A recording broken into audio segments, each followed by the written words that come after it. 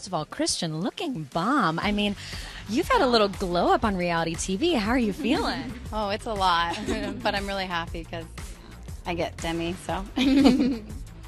are you adjusting to fame? Is it weird? How is this going for you? I haven't really thought of it like that. I'm just kind of riding the wave. I, and I'm just thankful I have her because I'm like, this is a lot. Did you give her tips? What'd you tell her?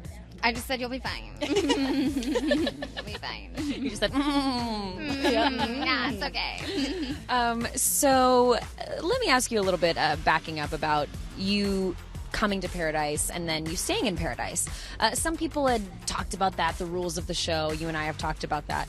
Uh, how did you feel about staying in paradise? Any trepidation? And what do you say to people who said uh, she shouldn't have been allowed to stay? She's not of the show. Mm-hmm. Well, I never really watched the show, so I don't even know what the rules would be. I don't think there are rules for Paradise, but uh, I just was focused on my relationship with Demi and whatever we wanted to decide as a couple. So, uh, and I wanted to explore our relationship and our love for each other. Was that a little crazy for you guys because you'd kind of been not even living in the same state, and all of a sudden you're like together on the beach 24 7? What was that like for your relationship? It was crazy. Um, I mean, there's definitely ups and downs that you know you see on the show, but ultimately you go to paradise to explore relationships and you focus on them. You don't have distractions, so. Mm-hmm. That's what we did. Um, Demi, talk a little bit about your kind of issues with commitment that you were honest about and how you two worked through that. You were very patient. um, I've just always not been a fan of committing. I like to do whatever I want to do and I like to have fun and, you know, just not really commit to anything as simple as a lunch plan with someone. But whenever you meet someone who makes you want to change that, I, and that's what Kristian did for me. It was really telling, and it made me excited to commit. Whereas before, I was terrified of it. Kristian, what was it like for you to get the call to come on the show? How were you prepped in any way? Did you have any idea what was waiting for you? No, I had no idea when she left. I had a feeling it was basically over, so I wasn't really sure, but my feelings were so strong when she was gone. So when I got the call, I was just excited to like talk to her. I just wanted to tell her how I all the realizations of my feelings and how I felt. I wanted to see her and just tell her, you know, how I was feeling at that time. How did you two leave it? Would you call it a breakup? How was it when you went to go on the show and you know you didn't have a cell phone to even send a text or anything? No, it, was, it wasn't a breakup. There was no conversation yeah. that needed to be had. It was just like, okay, I'm going. Bye. Mm-hmm.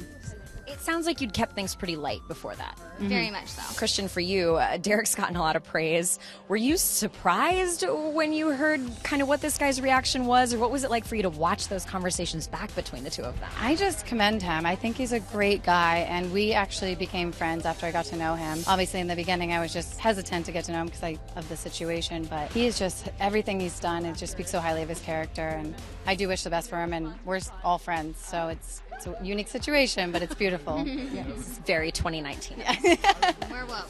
You get to live together now. What is that like? You get to be out in public together now. It's just exciting to be normal people again. Um, I just can't wait to do the simple things together and just not have to hide somewhere.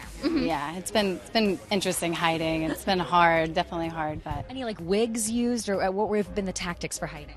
No, I didn't even want to take the risk. I, just not leaving the house. Mm-mm. Okay. But also, I don't mind not leaving the house. I like doing that. same, too. same. okay, this is successful potential here. Um, so, you, you guys' laugh turned into the same laugh. oh no. Yeah, this, this, is bad. This is I don't want to do that. To don't do it. I do that really. um, so you guys are now both sporting rings. Hold those up today. Uh, you went ahead and proposed to Demi as well. How emotional was that moment? It was just so beautiful. I was so shocked. Yeah, I loved it. Yeah, I wanted to surprise her. I wanted her to have that moment as well because it was such a big moment for me to experience. Will you guys be the next couple to get married together in paradise? If it's free. sure. You were at Krystal and Chris's wedding. I mean, oh my god, it was so beautiful. It was, beautiful. It was such a such a beautiful moment. Mm-hmm. We'll see. You're open to it, like you said. Paradise is made for you. Yeah, the queen is here. She's here. so why not get married in paradise? We'll see. Maybe. Have you guys talked about it? Do you have a timeline for a wedding oh at all? Oh my gosh, no, we just got engaged. No, uh, just enjoying. Is a lot. You act like Bachelor World moves slow. I mean, it's like Bachelor World moves fast, but then the engagement, that's whenever people like actually like take the time to be slow about it. Yeah, you're like, wait a minute. They're like, okay, let's like be normal for a bit and date and have fun, and then the wedding will come. Why do you guys work so well together?